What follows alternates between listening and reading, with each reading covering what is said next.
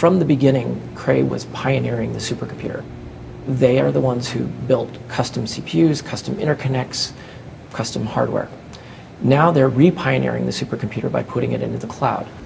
What's unique and exciting about this new offering between Markley and Cray is we're opening up the whole new realm of supercomputing to companies that may have never even thought of the opportunity before.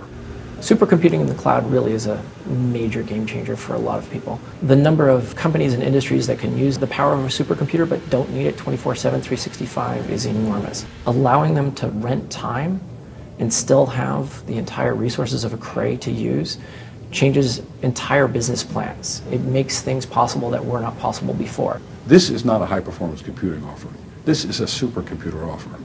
This is Cray, not high performance computing with a bunch of nodes in the same room uh, working together. We've had the people who have tested this had come up with better speed of 30 to 300 percent in calculations that they've run.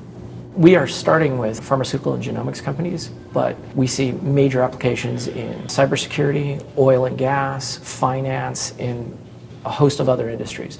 There are a lot of places where the power of a supercomputer makes the business better. We have real world studies with a large genomics company. They found they can get up to five times faster with a Cray than they can with the same number of nodes in uh, public cloud. If you're a scientist and you work on something for a week and you think about it for a long time and then you go to ask a computer for it and the computer takes a week to get you the answer, you've got to move on and do other things. And when the answer comes back, you have to stop and reload. The cost of that context switching is huge. There aren't that many paradigm shifts in the history of computing. I think this is actually one the ability to use a supercomputer when you need it for the jobs you need it without having to commit to all the resources required to owning a supercomputer. It is a game changer. The interesting thing about supercomputing as a service is not the things that I've spoken about so far. It's the things that I haven't thought about. I can't wait to see what people are going to do with this.